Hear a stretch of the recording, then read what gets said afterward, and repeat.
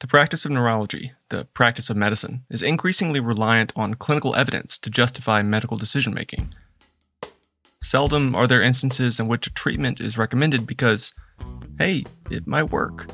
A patient in status epilepticus is not loaded with levetiracetam because why not?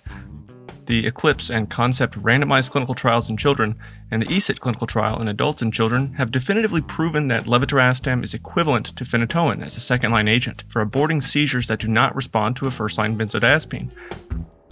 A patient's not given ropinirole for restless leg syndrome because, well, that's what we've been doing for years. We give it because trials like TREAT RLS US have proven it's highly effective and it's very well tolerated. But we don't always have the evidence we need to make the best medical decisions for our patients. In the neurointensive care unit, Dr. Jon Rosenberg faces this dilemma all the time. It's tricky, and that's one of the big issues with neurocritical care is you get all this data and all these numbers, and like, what do you trust? Dr. Rosenberg, you might recognize from episode 80, the meningitis that keeps coming back.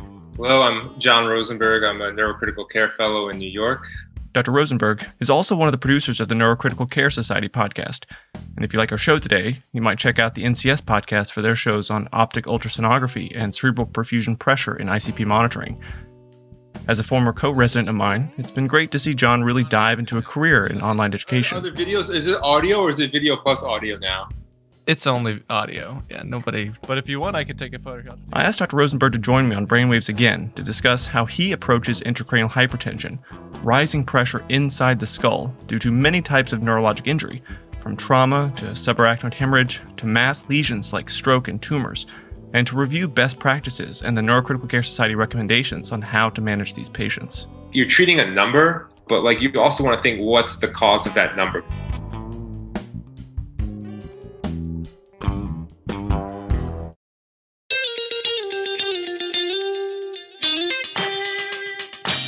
Welcome back to Brainwaves, a podcast about neurology and medicine and all the fascinating science and history that come with it.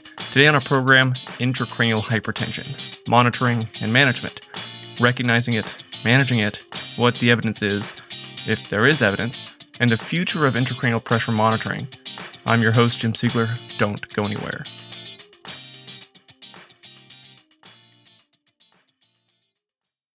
Why don't I open with a case?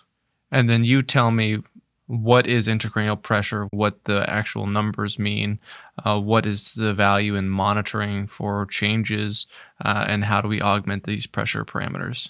Sure. Perfect. So, you know, Dr. Rosenberg, you've seen this, I'm sure, in your practice since the coronavirus pandemic. There's so much more trauma these days. People coming in with severe TBI. I had a podcast recently. I talked about stair-related injuries, people falling down the stairs. But regardless of the mechanism, you know, we we see a lot of TBI, and we're we're able to offer more to these patients than we ever have in the past. So if we just start off with a simple case, you know, a young woman uh, presents to the emergency department after being involved in a motor vehicle collision. She's ejected from the car, severe TBI, fluctuations in consciousness, impairment in consciousness. She's intubated at the scene, and we don't really have much of an exam to follow. Uh, but we do get a head CT, and there's some multifocal subarachnoid hemorrhage, subdural hematoma, uh, without a lot of midline shift. You get to see these patients all the time, much more than I do. Walk me through kind of how you manage this sort of post traumatic complication. Sure. So it sounds like what you're describing is a high grade TBI patient with an abnormal CAT scan and depressed consciousness. GCS is going to be less than eight. They've been intubated. And um, we're going to, chances are they're going to have high intracranial pressure. And we're going to need kind of some way to monitor that to diagnose it and to, to treat it. I could take a step back and I'll kind of talk a little bit about, give some background intracranial pressure, kind of, you know, what it is, the physiology, talk a little bit about the monitoring, the good and bad, invasive, non-invasive, the treatments we're going to offer based on the monitoring and kind of how to think about treating uh, ICP. And then we can kind of go back to the case and make it uh, like we can give specifics for the case then. So ICP, intracranial pressure, is, is based on um, the Monro-Kellie doctrine, which is that the, the cerebral space, the intracerebral space is like a closed compartment because uh, the brain is in the skull, and inside the skull, the components are brain, blood vessels, and CSF. And that's what's going to make up your ICP. Basically, changes to the brain volume, blood volume, or CSF volume are all going to increase or decrease your intracranial pressure. Causes of ICP are going to be things that affect one of those three compartments and the treatment for increased ICP are going to be things that modify brain volume, CSF volume, and blood volume. The brain makes up about 80% of the intracranial volume, with the remaining 20% divided about equally between blood and CSF. So, in many cases, the reduction of intracranial pressure is achieved by reducing the volume of this tissue, reducing vasogenic and cytotoxic edema. In thinking about how this is accomplished, the neurointensivist always returns to an essential maxim in their practice the classic equation of critical care, a formula that illustrates the relationship between perfusion and pressure. The cerebral perfusion pressure, CPP, equals the mean arterial pressure, MAP, minus ICP. CPP equals MAP minus ICP. This means that the perfusion of blood into your brain is driven by the mean arterial pressure, and it's limited by the intracranial pressure. So your perfusion pressure to the brain is dependent on both your mean arterial pressure and your intracranial pressure.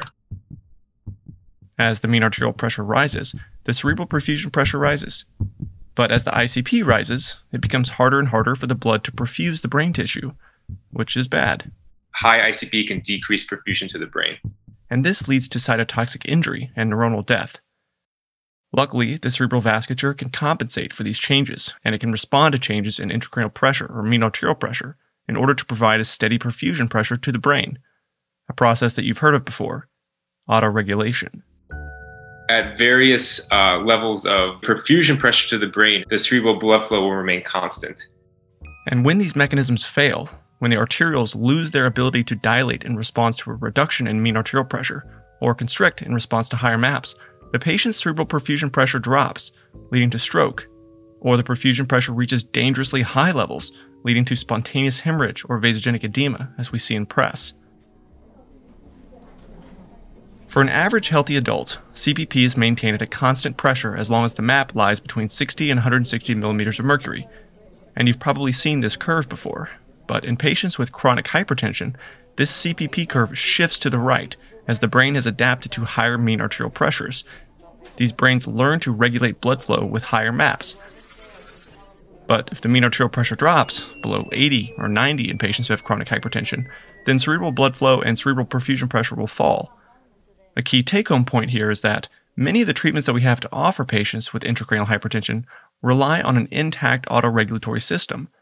As long as we can lower a patient's intracranial pressure safely with CSF diversion and hydrocephalus or hemicraniectomy following malignant hemispheric stroke, and we keep that mean arterial pressure adequate, we can ensure that cerebral blood flow will be sufficiently maintained. The problem is, many of these conditions are associated with failing cerebral autoregulation. Dr. Rosenberg again it's all based when you have injury to the brain. So autoregulation occurs in the arterioles. It needs ATP. So when you have like a very large ischemic stroke, when you have a traumatic brain injury, the thought is that the brain is already dead, so you can't make the ATP, and therefore your arterioles can't constrict and dilate. This also happens with severe meningitis and encephalitis, subarachnoid hemorrhage, major disturbances in cerebral metabolism like hyperammonemic crisis, and other conditions. If you don't have autoregulation, then the blood volume is going to increase in the brain. And increasing that MAP is also going to increase ICP, which may decrease CPP. Generally, what we say is an ICP greater than 20 millimeters of mercury is, is bad. And that's because both the increased pressure leads to kind of shear stress on the neurons, and the increased pressure will also decrease perfusion, cerebral perfusion. One point to make real quick here is that Dr. Rosenberg and neurointensivists refer to high intracranial pressure as being greater than 20 millimeters of mercury, it's different from the opening pressure that we get when we do a lumbar puncture. It really comes from uh, like observational cohort data, which shows that um, patients with ICH, subarachnoid hemorrhage, high grade TBI who spend more time at ICPs greater than 20 have a worse outcome. And this measurement of ICP in millimeters of mercury is what we see on our ICU monitors in patients who have an external ventricular drain or another invasive probe. This is not the measurement we get with an LP. When we do an LP, we measure the pressure in centimeters of water, not millimeters of mercury. The conversion is about 0.75 to 1 millimeters of mercury to centimeters of water. So 20 millimeters of mercury on the ICP monitor in the ICU world would be about 27 centimeters of water with a spinal tap. So the normal ICP is, is probably around 3 to 15 millimeters of mercury. 5 to 20 centimeters of water. Basically, low ICP intracranial hypotension can be bad as well.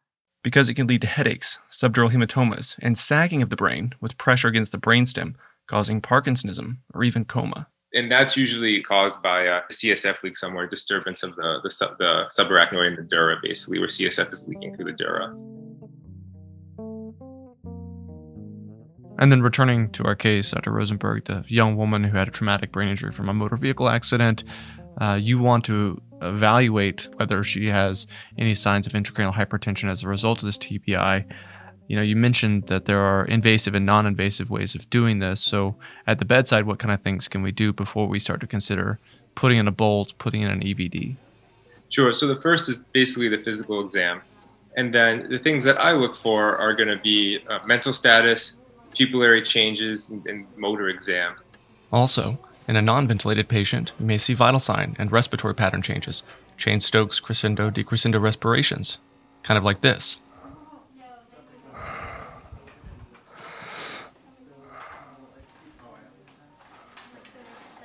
Or a Biot's respiratory pattern, in which there are regular deep breaths interspersed by apnea, which may indicate severe pontine damage, like this.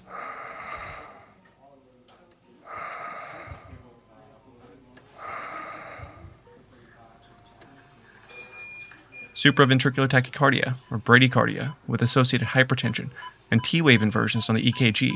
These can also be seen with rising intracranial pressure. More often, however, you may have a limited physical exam because the patient's intubated.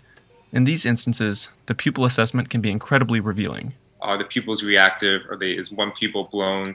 Um, are they like midpoint and constricted? These are all signs of either uncal herniation or subvalvular herniation. Such an important point. One pupil may be pathologically dilated with an intracranial pressure crisis, an ICP crisis, because of something like uncal herniation, compression of the midbrain from downward mesial temporal lobe displacement, but with higher frontal lobe lesions, diencephalic lesions, or with pontine lesions, there may be impairment of sympathetic tone originating from the hypothalamus, causing bilateral miosis, a central Horner syndrome. It's more useful to trend the pupil reactivity in a minimally responsive patient, but for somebody who's more awake, then what's their mental status? Are they do they have a depressed exam, difficulty following commands, difficulty with attention concentration? Agitation is also not unusual for an early finding in ICP crisis, but as the ICP reaches a critical threshold, impairment of consciousness and somnolence will set in, with apneustic breathing and vital sign changes like we discussed, due to compression of the ascending reticular activating system and other brainstem structures. And then their motor, are they able to withdraw, localize? Are they posturing, extensor, flexor posturing? Those posturing signs are all signs of increased brain injury, be it ICP or, or herniation. And then it's a constellation of both those clinical signs and then the CT image that will give you um, signs of increased ICP. To validate your suspicion of intracranial pressure rising, you'll want to confirm this. And we do this with non invasive and invasive means, as Dr. Rosenberg mentioned. So there's a few non invasive techniques we can use. Of these non invasive techniques, brain imaging can be acquired and should be done, and sometimes it's suggestive of high pressure. Sulcal effacement, vasogenic edema, flattening of the globes, compartmental herniation, compression of the venous structures, sometimes ventriculomegaly and transependymal flow. These are all findings you might see depending on the cause of the high ICP. And an unenhanced head CT has high specificity, but its poor sensitivity means that the CT can be normal, and yet the intracranial pressure could be life threatening. You can use pupillometry, which looks at the NPI, the neurological pupil index, the pupillary reactivity. Technically, the NPI is a proprietary scalar index of pupil reactivity with lower NPI readings correlating strongly with intracranial hypertension. Unfortunately, there's not a lot of transparency with the NPI, and many institutions have not incorporated it into their neurocritical care practice. People have kind of issue with just putting their trust in a proprietary algorithm that's that, that they don't know. If you don't have the NPI pupillometer at your institution, we don't have it where I work, you could directly visualize the optic discs at the bedside, looking for papilledema and loss of spontaneous venous pulsations, which correspond with high intracranial pressure. You can also quantify the optic nerve edema by measuring optic nerve sheath diameter using ultrasonography. Ocular ultrasound. By insonating the globe, you can measure the width of the optic nerve 3 millimeters posteriorly. Anything wider than 5 millimeters in thickness indicates intracranial hypertension. You can use transcranial Dopplers, which can measure pulsatility index the pulsatility index is effectively the difference between the systolic and diastolic velocities divided by the mean velocity of an intracranial artery. As pressure builds up in the brain, the diastolic filling of an intracranial artery, and therefore its arterial velocity, will decrease, which widens the difference between the systolic and diastolic velocities. It's intuitive, but just to state it simply, the greater the difference between the systolic and diastolic velocities, the higher the probability of intracranial hypertension. NIRS, quantitative EEG, and other methods have also been used to estimate ICP in the research setting, but the clinical exam, brain imaging, optic nerve sheath diameter, and occasionally TCDs are the most widely used non invasive techniques currently in practice. Altogether, each technique gives you reasonable sensitivity and specificity for high ICP, on the order of 60 to 80%. And if you combine two or more of the techniques, particularly by combining optic nerve sheath measurements with TCDs, you can improve the diagnostic performance of all these tests. So good, like not perfect, but they could do a decent job. Uh, what happens when some of the data is discordant? It's tricky, and that's one of the big issues with neurocritical care is you get all this data and all these numbers, and, and, and or critical. I shouldn't say neurocritical care. I should say in critical care in general. You get all these data, all these numbers, and like, what do you trust? When I have discordant data, I rely on the overall clinical picture, and I often will start in the beginning. Just because the number isn't good and you don't agree with it doesn't mean you should ignore it. So I'll often treat it unless it's like wildly discordant or clearly, you know, someone is following commands, but their NPI is low. Like I won't treat that. Again, considering the whole clinical picture. I will err on the side of being more conservative and and and treating someone for high ICP. I just err on the side of being aggressive and still uh, treating. If if one of those pieces shows high ICP, I'll still treat it. And then if it turns out in a few days if there's no change in like the patient's imaging, there's no change in their exam, and that one data point is still discordant, then I'll ignore it. So, with all these available non invasive modalities, all of which are generally very sensitive and specific for high ICP, none of them are the gold standard, and none of them give you the actual pressure. You need an invasive device for this, with the added advantage that quantitation of the ICP allows the neurointensivist to trend a pressure over time and to trend response to treatment. You know, the two invasive monitors we have are you have an EVD, an external ventricular drain, and uh, a bolt, which is a parenchymal probe. Now, the decision to place them is in part going to be placed is going to be dependent on like what's causing the increased ICP. Let's say they have hydrocephalus from like bacterial meningitis, or they have a non-communicating hydrocephalus, they have a mass lesion pushing on their ventricles, or a large hemorrhage. We will probably do an EVD because that way we can uh, drain the CSF, help treat the hydrocephalus. If someone has let's say a TBI or they have a post-anoxic injury from like uh, drug use or or cardiac arrest, we may put a bolt in because those patients they may have global cerebral edema and also they may have small ventricles. Like the ventricle may not be accessible in the setting of global cerebral edema. So in those cases, we'll often put a parenchymal bolt. The advantage of the EVD is that you use both diagnostic and therapeutic. Um, however, you have to meaning you can quantitate the intracranial pressure, often due to excessive accumulation of cerebrospinal fluid and you can treat the pressure by diverting the CSF. However, EVDs are limited by a 5% risk of tract hemorrhage and a slightly smaller risk of severe brain infections. And you can't measure ICP continuously if you're draining fluid continuously. You have to pause one function in order to accomplish the other, which is simple enough to do. With a bolt, it does continuous ICP. The ICP is always reading every second. In addition to the number on the monitor, the intracranial pressure in millimeters of mercury, you can also get a lot of information from the waveform, like an EKG. When you put an EVD in, there's three waveforms. We call them the P1, P2, and P3 waves. And the P1 wave happens first. That is the arterial pulse onset of systole. The P1 waveform, or percussion wave, can be thought of as an indicator of cerebral perfusion, with smaller amplitudes correlating with poorer perfusion. The P2 wave is the uh, compliance wave. Compliance, as in the tolerance of the brain to withstand rising pressure, vaguely speaking. The P2 wave tends to grow with increasing intracranial pressure, reflecting poor compliance, and lower P2 waves indicate lower ICP, greater compliance. And then the P3 wave, the dicrotic wave, is the closing of the aortic valve, so offset of systole. And you look at these waveforms from left to right, with each one giving you a little bit of insight into the perfusion of the brain and the compliance of the brain. Generally, P1 should be the greatest, then P2, then P3 in terms of um, amplitude.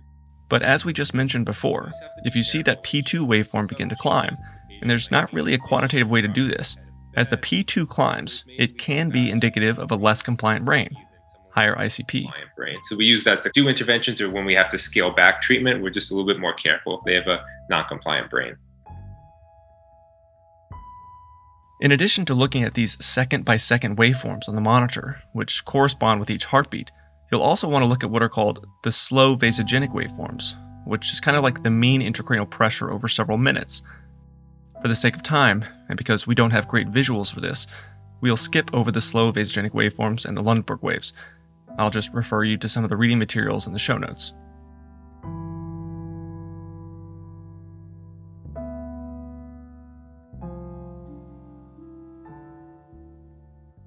Let's recap these two invasive monitors. So, when needed, Dr. Rosenberg starts by at least considering an invasive ICP monitor in a patient who he clinically suspects to have intracranial hypertension and whose imaging may or may not be concerning for it, for whom he thinks that awareness of the ICP may be useful in medical decision making. An EVD is diagnostic and it's therapeutic, but its use is limited to cases in which the intracranial hypertension is largely due to excessive CSF accumulation or poor resorption and a bolt can be placed in the parenchyma exclusively for monitoring purposes. The bolt does have a few other advantages, depending on what else you equip it with. So it's, it's continuous ICP. You can also use other probes like brain oxygen, brain tissue oxygen tension, PBTO2, which reflects local oxygenation of oligemic tissue. With low PBTO2 measurements in the setting of poor autoregulation, one might increase the patient's sedation to reduce metabolic demand of the brain tissue one might increase the mean arterial pressure and thereby the cerebral perfusion pressure, or they may increase the arterial oxygen content. And these are some of the common practices to raise local PbTO2. You can do a depth electrode, see if you get intracranial seizures, microdialysis, looking at changes in brain chemistry. So, all these kind of are adjuncts that we look for uh, brain health, things that could cause reduction in ICP or reduction in CPP. So, it offers kind of a more comprehensive uh, analysis of what's going on in the brain. And for this reason, intensivists refer to it as multimodality monitoring. But what is the advantage of this? Is there an advantage? As in, an advantage of invasive monitoring over your clinical exam and non invasive testing? Does reacting to a higher ICP with invasive testing lead to better patient outcomes? There was um, a trial, the Best Trip trial. It was a very uh, well done trial down in South America. They basically looked at outcomes in patients with high grade TBIs who had a, a parenchymal monitor and they were basically treated based on the ICP greater than 20 millimeters of mercury based on the monitor, or patients who were just treated based on exam alone. Pupillary changes, CAT scan, and changes in GCS and exam. And they actually found uh, no difference in outcomes. No difference in adverse events, no difference in ICU length of stay or six month functional disability, and no difference in survival.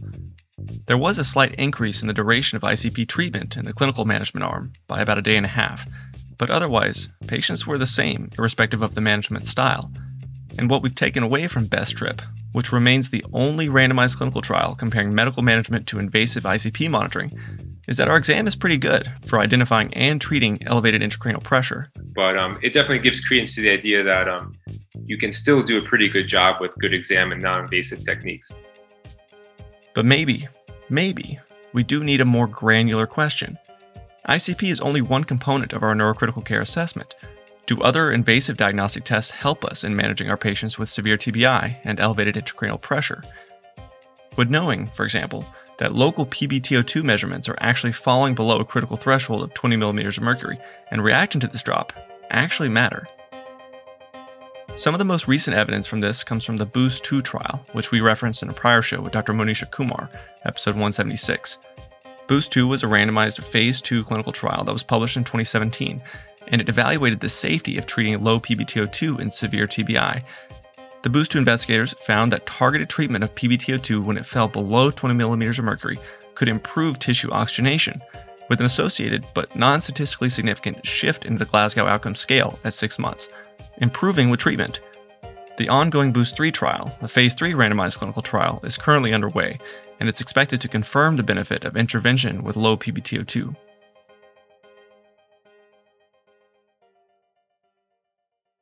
All right, so let's get back to our patient, the young woman who sustained a severe TBI following a motor vehicle collision.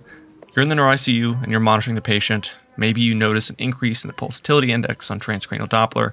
Maybe you noticed a rising P2 waveform or a smaller NPI on quantitative pupillometry some indicator of rising intracranial pressure or worsening brain compliance. What next? Um, so this patient came in high grade TBI. They have multi-compartmental hemorrhage. They have hydrocephalus. We put an EVD in, drain some CSF, but now we're getting an ICP reading, and let's say like the ICP is 40. So there's universal measures, pharmacological measures, and surgical measures. The universal measures you do for everyone. It doesn't matter kind of the type of injury they have, but they can be done for everyone. Head of bed to 30 degrees. This optimizes venous drainage from the brain, allowing that 6 to 7% of the intracranial compartment, the venous system, to drain. So the ICP goes down. But 30 degrees isn't enough of a gravitational challenge to prevent cerebral perfusion. As the head rises, both the ICP and the cerebral perfusion pressure will fall. Every 10 degrees of head elevation drops the ICP by 1 millimeter mercury and the CPP by 2 to 3 millimeters of mercury. So a 30 degree head elevation is about the sweet spot to maintain good cerebral perfusion. So therefore, like they'll still have a decent CPP when they're at 30 degrees. Jugular midline, so you keep the veins open. Ensure normothermia because fevers can increase metabolic rate, metabolic demand, and blood flow. So you make sure they're normothermic. Uh, and also to make sure they're ventilated, okay, that the PCO2 is okay. Generally at a goal of 35 to 40 millimeters of mercury, because higher PCO2 levels increase cerebral blood flow, higher CPP, increasing the arterial blood compartment, and therefore higher ICP. But sometimes we'll try to quickly drop the PCO2 in order to reduce cerebral perfusion, lower the ICP. This effect only lasts four to six hours because there's a rebound in CPP. In terms of pharmacological treatments, basically you have your mannitol and your hypertonic saline. Those will um, decrease brain edema by driving water out of the brain into the into the blood vessel because you create an osm gradient with a high sodium or a high osm concentration in mannitol. You can also, you know, generally putting someone on EEG with a poor exam will do just to make sure they're not seizing. And treatment of seizures will also decrease ICP, decreasing metabolic demand. This is a core concept in neurocritical care. With intracranial hypertension, reducing the metabolic demand of brain tissue is a priority, not just because you want to prevent excitotoxicity of neurons and glia, but also because you want to limit cerebral blood flow. 20% of cardiac output is designated for the 3 pounds of brain we all have, and any way that we can reduce that 20% of dedicated blood volume without compromising function of the brain is what we're going to prioritize. You can also give steroids in the setting of vasogenic edema, as in the case of a tumor or inflammatory lesion, sometimes even an abscess or aneurysm with mass effect, but not in the case of edema following a ischemic stroke or hemorrhage. And then the other main pharmacological treatments are, are, are sedation and paralysis. Basically, drive down the metabolic demand through sedating them. And paralysis decreases any type of intrathoracic pressure, which can improve venous return from the brain. Better venous drainage. Um, that will help their ICP. But neuromuscular blockade also increases the risk of pneumonia, sepsis, and it can limit our ability to detect motor seizures or neurological deterioration. And if all else fails, a pharmacologic coma can reduce the metabolic rate of brain tissue to the lowest physiologic level. Um, I generally sedate pretty heavily with propofol and fentanyl. You'll probably see a lot of propofol or phenobarbital used to lower ICP. Propofol is a good drug. It has a quick onset of action, and while it's hepatically metabolized, it can be cleared from the body independent of liver or renal function. It's a good drug for, for people with multi organ failure. But if more ICP reduction is desired, and you can keep the blood pressure up, phenobarbital may be your drug of choice. It's more effective than propofol or midazolam at reducing ICP because it also reduces cerebral blood flow and CPP. But one in four patients may have significant hypotension because of it. And then obviously pentobarb is like the main the kind of the the last resort one of the last resorts but I'll, I'll, generally stick with propofol and fentanyl at the same time that the neurointensivist is closely monitoring the icp getting back to that fundamental formula in critical care CPP equals MAP minus ICP, while they're keeping the ICP at a certain goal, less than 15 millimeters of mercury, for example. The intensivist is also keeping a close eye on CPP. Pharmacologic sedatives like propofol and midazolam, especially phenobarb and pentobarb, these agents will tank your MAPS and subsequently your CPP. So intensivists also set a CPP goal. And then the kind of future of neurocritical care is now we, we have these goals 50 to 70, 60 to 90, the most recent Brain Trauma Foundation guidelines from 2016 recommend a CPP goal of 60 to 70 millimeters of mercury in TBI, and sometimes higher for conditions like aneurysmal subarachnoid hemorrhage. And finally, if all else fails and the intracranial pressure remains high and it's life threatening despite your best efforts, there's surgery. Hemicraniectomy, evacuating the lesion, and I'll put even cooling there. So, uh, cooling patients is, is a last resort too. That was a lot. Now let's recap. Considering the patient we opened up the show with, the young woman with severe TBI following a motor vehicle collision. In the ICU, she's intubated with a bolt in place, an ICP monitor. So I get called to the room. The ICP is 40. First thing I'll do, I'm going to make sure head of bed elevated, jugular is midline, and I'm going to make sure that I'm ventilating them okay. That like look at their end tidal, make sure their end tidal is not like 50. So I'll hyperventilate them a little bit to make sure I'm blowing off CO2. Let's say I do that, ICP is 30, it's still high. I've done my universal measures, I'll go to my pharmacological treatments. So I'll usually give a dose of hypertonic saline or mannitol. So I give mannitol, their ICP is still high. At that point, I'm now at my second rung. I'm thinking I have to sedate them. Propofol, fentanyl, make sure they're in sync with the vent, and make sure I decrease any metabolic activity. Once I'm past hypertonics, sedation, then I'm at my third line therapies. I kind of have to start reevaluating am I missing something? Here, Dr. Rosenberg has to pivot. We talked about this recently on the show. If you're doing something that you think should work and it's not working, or new information presents itself, it's your responsibility to question Am I doing this right? What am I missing? So I'll think, patient, do they need another CAT scan? Like, could they have expanded their bleed? or is the EVD working? So that's the classic thing. Is your monitor working? So is the EVD draining actually? So you can drop the EVD. But assuming the monitors are working, is there something I'm missing? Do I need to rescan them? Do I need to put them on EEG, make sure they're not seizing? I may empirically give them some Keppra and get an EEG. And then the next step is really going to be cool them and, and paralyze them and think about surgical options. For this patient, decompressive craniectomy or hematoma evacuation Maybe if there's a subdural hematoma that's growing on repeat head CT, embolizing the middle meningeal artery. And then the next step after that, if there's no surgical option, is, is pentobarb. Basically, put them in burst suppression. I like these cases because you still have to think you're treating a number, but like you also want to think what's the cause of that number because you can just give hypertonic saline, sure, you can give more mannitol, but you kind of want to think like, is there anything else going on in the body that I have to fix? Are they not being ventilated well? Are they not in sync with the ventilator? Did the bleed expand? Are they seizing? So it's it's a combination of throwing the empiric treatment at them, but also having your differential in the back of your head about what is kind of driving the issue, what's driving the ICP. Once we have the max therapy and we have the ICP under control, we may keep them that way for you know one to two days and then kind of slowly liberalize. You know, because the swelling, like it's gonna there's going to be swelling, and then with time, the swelling will go away. So as you think the swelling is going away, you can kind of decrease your interventions. In conclusion, intracranial hypertension is a neurologic emergency. There is a plethora of observational studies showing patients who live at a higher ICP, they do worse. And you can recognize intracranial hypertension in many conditions brain injury, subarach, TBI, ICH. And diagnose it clinically with simple bedside exam findings. The clinical exam is still very important in these patients. Neuroimaging may give you more information as to the proximate cause of ICP elevation, but the pressure can continue to rise even after it's first detected. Close monitoring using non invasive techniques, quantitative pupillometry, transcranial Doppler, EEG, are all just as effective as invasive monitoring using a parenchymal monitor or external ventricular drain, according to level 1 data from the BEST TRIP trial. Ongoing studies may eventually demonstrate superiority of invasive monitoring or multimodality assessment following TBI. Boost 3 will hopefully answer that.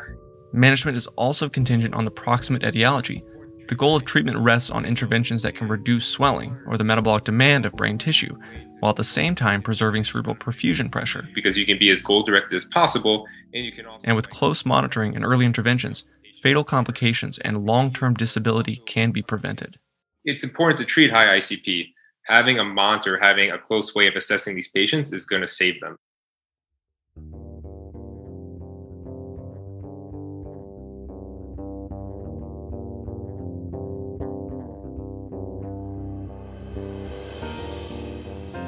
So that's all we got for you this week on the Brainwaves podcast. Thanks so much for joining us. I feel like I don't need to remind you at this point, but I will anyways.